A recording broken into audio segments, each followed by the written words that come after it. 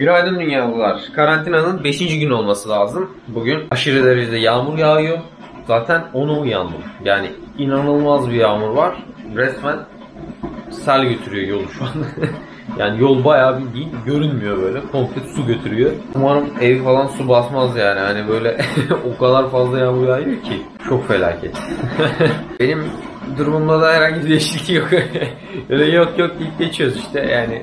Çok şükür yok yani öyle. Yaşamaya devam. Hadi bakalım. Kahvaltı yapayım da ilacımı alayım ya. Zaten o da bitecek herhalde. Bugün mü yarın mı öyle bir şey. Ha yağmur azaldı. İyi bari. Ama çok harika bir görüntü yani. Ne kadar yansıdı bilmiyorum ama sizlere ekranlarınıza çok güzel bir görüntü. Yulaflı bir şeyler yapacağız. Burada 100 gram yulaf var. 100 gram yulafı yanlış hatırlamıyorsam ölçüsü 5 kaşık yemek kaşığı böyle tepeleme olacak şekilde aldığınız doldurduğunuz zaman bu 100 gram oluyordu herhalde. Ee, buna şimdi su ısıtıyorum bir de bir miktar. Bunu sıcak suda bekleteceğim. Sonrasında kakao ekleyeceğim. Üzerine de muz ekleyip böyle bu yani aroin gibi düşünülebilir böyle. Yani hani hem besleyiciliği açısından güzel hem de ne bileyim tadı güzel diyeceğim de tat alamıyorum. Neyse aman boşver. Bu saf kakaonun faydası inanılmaz fazla ama saf kakao olacak. Yani böyle çikolatayla şeyle şekerle yani şekerle karıştırılmış çikolata falan değil yani. Kakao bildiğin toz böyle ham kakao olacak. Çünkü ne kadar şık görünüyor bilmiyorum ama. Bunun faydası çok fazla. Yani bitter çikolata faydalı demelerinin sebebi de kakao miktarının fazla olması zaten. Kakaonun faydaları hakkında ayrı bir video tıpkı yeşil çayda yaptığım gibi yapmayı düşünüyorum. Sadece zaman bulmam gerekiyor diyeceğim. Şu anda siz de bana diyeceksiniz ki şimdi şu karantina sürecinde zamandan bol neyin var diyeceksiniz. Çok da haklısınız. Şu an ben bugün aa hakikaten bugün bunu araştırayım videosunu çekeyim ya bu bilgi videosunu. Çok çok güzel oldu şu an aynen. Hem bu da e, aradan böyle çıkmış olsun. Güzelce kakao videosunu çekmiş olalım. Sizlerle paylaşalım. Kakaoyu tıpkı kahve hazırlar gibi bu hazır kahveler var ya. Monaraç falan kahveler var böyle. Kahveyi koyuyorsun bardağa. Bardağın üstüne direkt sıcak su ekliyorsun. Karıştırdıktan sonra kahve hazır hale geliyor. O şekilde falan da kakaoyu tüketebilirsiniz. Tadı yani o kadar hoş değil ama karantina sürecinde gider. Tat almıyorsun zaten. Neyin tadındasın yani acaba? Devam yani iç gitsin ne olacak sanki bildiğin su içiyormuşsun gibi geliyor her şey zaten. Tadını tuzunu almıyorsun. Bir şey içiyorsun ama ne içiyorsun bilmiyorsun yani. O yüzden iç gider öyle gider. Tam karantinada içecek favori içeceklerden bir tanesi olur hatta. Hatta bunu içelim. Şu şeyimizi yiyelim ondan sonra bir de kakao içelim.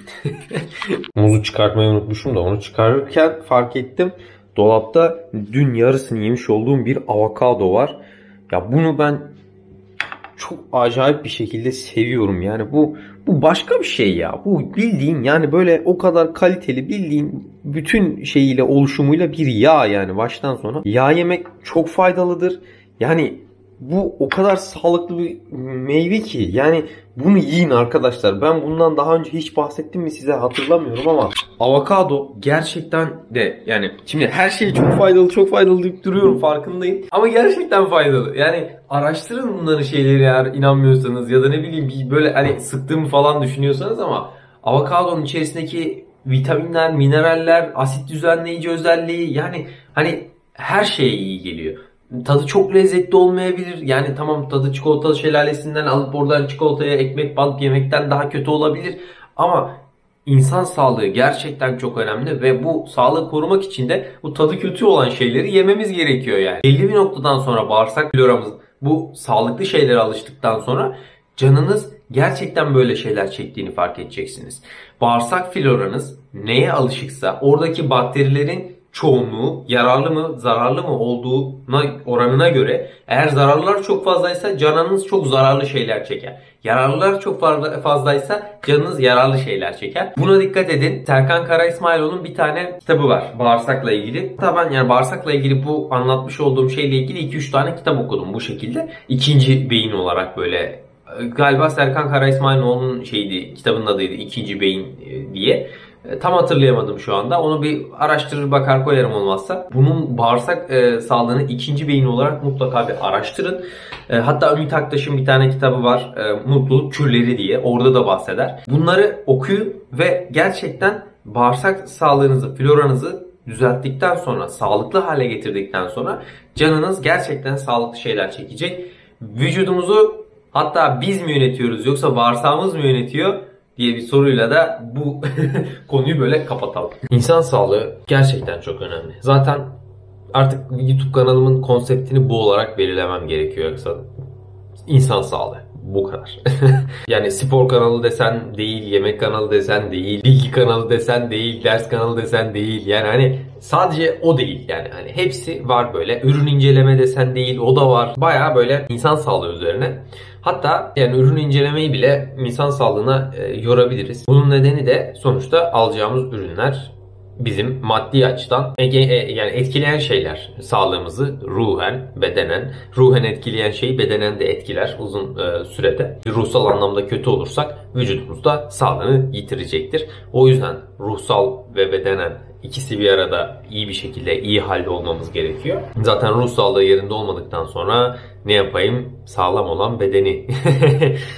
Buradan da Mevlana'ya bağladıktan sonra devam ediyoruz. Kanalın konseptini insan sağlığı olarak belirlemeyi şu anda düşündüm. Mantıklı geliyor. Biraz daha bu konu üzerine kafa yoralım. Bunun üzerine böyle güzel bir tanıtım videosu çekelim. Kanalın konsepti hakkında, insan sağlığı üzerine olduğu hakkında falan filan. Hem artık kanalın bir tanıtım videosu olsun. Bir yıl oldu daha hala kanalın tanıtım videosu yok yani.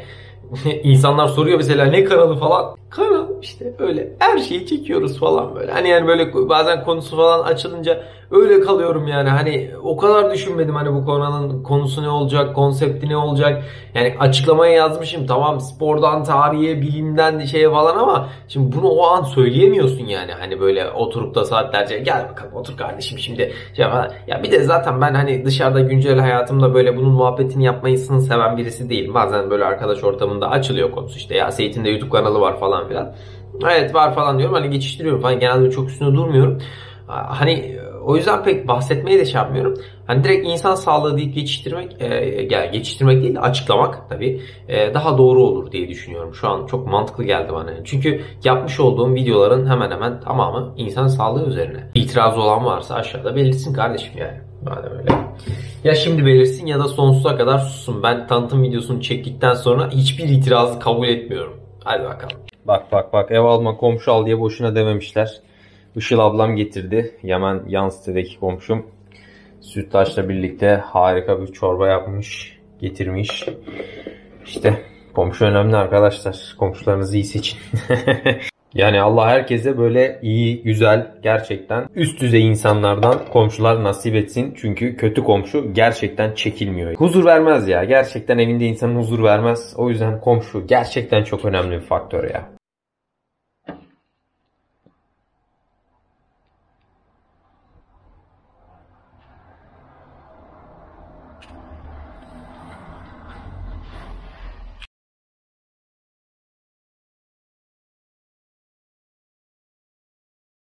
Merhaba küçük dostlar. Hey. Gel buraya gel. Gel gel. Gel.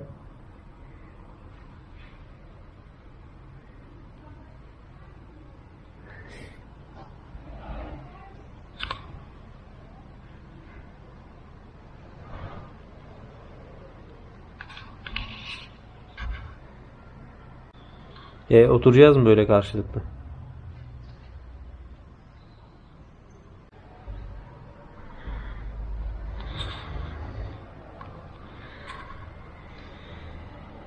Göz yaşlarımı görmedin Bana hiç mi değer vermedin Hiç mi sevmedin beni Göz yaşlarımı görmedin. Bana hiç mi değer vermedin? Hala seni bekliyorum. Umudumu ufuklarda buldum. Buluştuğumuz yerlerde hep seni aradım durdum. Gece saçlım Hüzün bakışlım Seninle bir olup bulutlara. Gel gece saçlım Hüzün bakışlım. Seninle bir olup bulutlara. Gece saçlım. Hüzün bakışlım. Seninle bir olup bulutlara Gel gece saçlım Hüzün bakışlım Seninle bir olup bulutlara Kah inerim yeryüzüne Seyreder alem beni. Aydar aydar seyreder alem beni Aydar aydar seyreder alem beni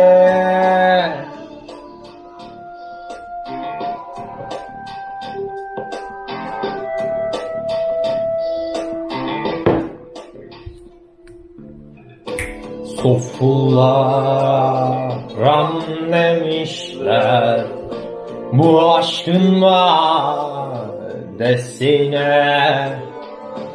Ben doldurur ben içerim Günah benim kimlene Haydar haydar günah benim kime ne?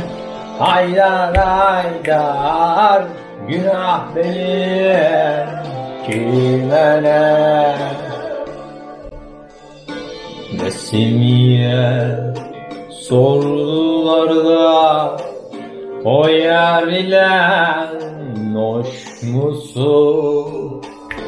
Hoş olayım, olmayayım O yar benim kime ne Haydar haydar O yar benim ne Haydar haydar O yar benim kime ne Sam mistal yaylasını Sam mistal yaylasını Neden erimez kare Neden erimez kare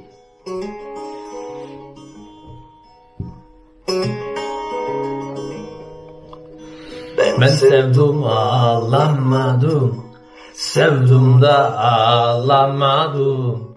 Böyle durdun ya hani? Böyle durdun ya hani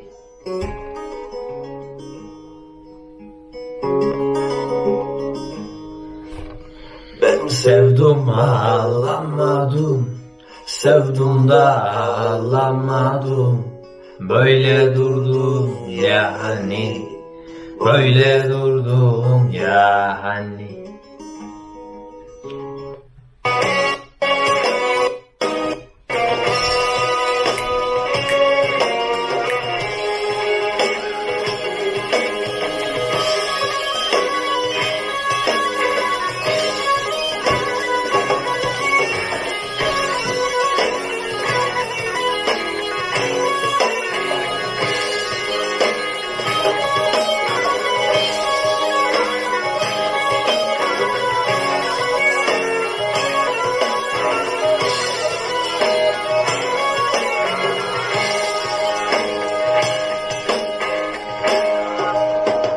Yüksek dağların kari Yüksek dağların kari Erimeden akar mı?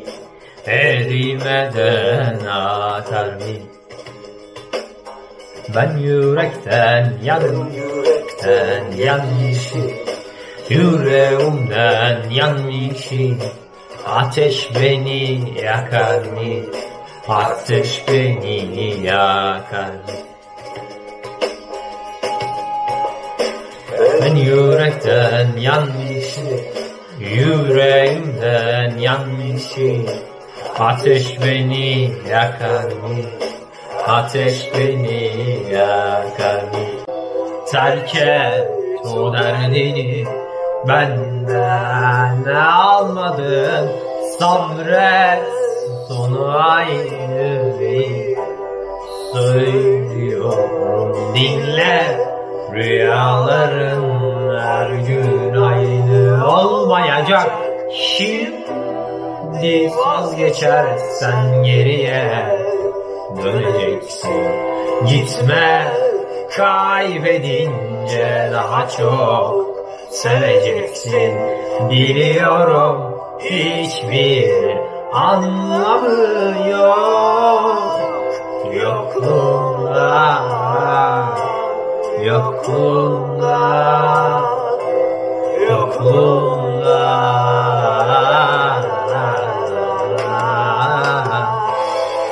Ercan'ı en sonunda getirdik ilçe sağlıktan. Üçüncü günün sonunda beraberiz. Ercan'dan ilk birkaç gündeki belirtilerini ve belli başlı şikayetlerini dinleyeceksiniz. Ben sizi Ercan'la baş başa bırakıyorum. Evet arkadaşlar benim de karantinadaki 5. günüm. Ben de ilk ilk gün hafif şey öksürük vardı. Biraz da ara ara ateşim yükseliyordu. İkinci ve üçüncü günü çok kötü atlattım. Hani çok fazla kemik ağrım vardı, eklem ağrım vardı.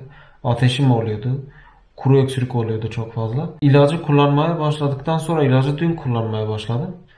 Hani daha iyi atlatmaya ba- hani daha iyi oldum. Bir de bizim toplumumuzda böyle bir algı var. Kesinlikle o ilaçları kullanmayın gibisinden. Benim tavsiyem kesinlikle kullanmanız. E, çünkü ilaçları kullanmaya başladıktan sonra iyi oldum. Seyit e, aynı şekilde birinci gün verildi Seyit'e ilaçlar. Ve o başladı hemen. Ve o hiçbir şekilde belirtilerini hissetmedi. Ben ilk 3 gün çok kötü geçti. İşte ilk günü saymazsak 2 gün çok kötü geçti. Dünden beri ilaçlar kullanmaya başladığımdan beri de iyiyim yani. Kanka peki kendi evinde karantina mı benim evimde karantina mı? Yani orada biraz e, arkadaşa sonuçta negatif arkadaş. Ona bulaştırmamak açısından ben kendi odamdan geçirdim biraz. Bu da çok etkiliyordu. Hani sürekli aynı yerde ve bir saat e, insan motivasyonu da düşüyor. Ama Şu an buraya gelince iyi oldu. 3 gün aynı odanın içerisinde. Yani geldi o. İnsan kafayı yer ya. Düşündüm de valla çok sıkıntı ya. Bazen kanka şey gibi mesela çekim sırasında çok saçma gelen bir şey sana. Bilgisayarın başına bir izliyorsun. Oğlum diyorsun harika olmuş lan bunu kesin atmalıyım falan diyorsun. Atıyorsun yani hani. O yüzden öyle çok hani kesin hüküm e, çekim anında verilmiyor yani. Ee, bu işlerde birinci yılımızı doldurduk artık. Te- tecrübe tam, tam 1 K- Kasım'da başlamıştım kanka ben. 1 Kasım'da geçen yıl ilk videomu paylaşmıştım. Geçen yıl Eylül ayında çekimlere başlamıştım böyle. Videonun çekimlerine bilmem neye falan. İşte kilise videom var bir tane. Onun çekimlerini falan yapmıştım böyle. Onun için bir hafta falan uğraşmıştım böyle. Bir de kanka şey çekim yasaktı. Ee, sabahın köründe gidiyordum. Çekiyordum. Ondan sonra gizli gizli böyle kimseye görmeden. Sonra hemen koşa koşa eve gelip böyle hemen böyle yani şey bisiklete bisikletle gidiyordum işte hemen. Hızlı hızlı böyle. Gidiyor gittim hemen böyle haldır uldur böyle şeyin içerisine tripod soktum ama kilise normalde kilitli e, gizli yani şey yani böyle giriş falan yasak. Ama şey camları böyle şey demir parmaklık var sadece. Cammam yok arada yani. Hani sadece demir parmaklık var. Hani elini kolunu soktuğun mu kilisenin içine giriyor. Ama şey yani yasak içine girmek kilitli falan hatta böyle. Oradan içeriye ben 3 metrelik tripod soktum kameraya içerideki görüntüleri öyle aldım. Video izlerken zaten böyle hafif böyle titreyen bir görüntü var böyle şeyin içerisinde. Onun sebebi o yani.